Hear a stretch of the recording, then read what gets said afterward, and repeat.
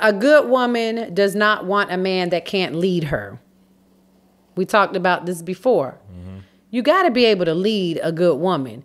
And a good woman can still be um I'm going to say can still be uh I don't want to say powerful, but I want to say yeah, a, a, boss though. A boss. Yeah. You can still be with a boss chick, and you be a boss too. Yeah. Right. Mm-hmm. I don't. Why is that intimidating? It's not. Because they call it a woman that they call us aggressive or we're too strong minded or strong willed or I would think a man would want that in a woman. Yeah, I don't mind that. Some some people might feel insecure about that. Is it because he can't put the potential of him leading is not there? Or just the potential of him maybe she's just better at whatever, you know.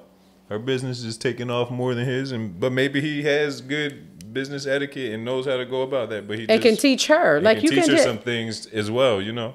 Yeah, because I feel like men are some men. I'm not gonna say all men are intimidated by a strong woman.